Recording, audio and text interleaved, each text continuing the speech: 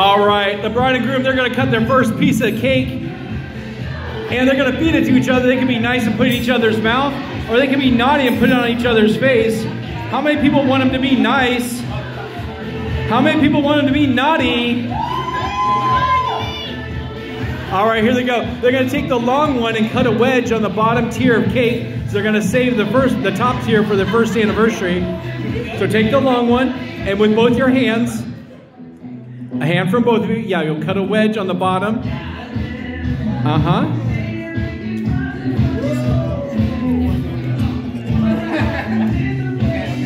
There you go.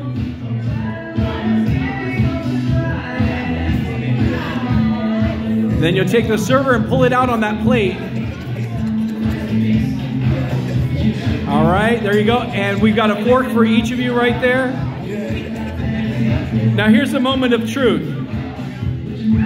Oh, there we go. All right, well, she be as kind. Smash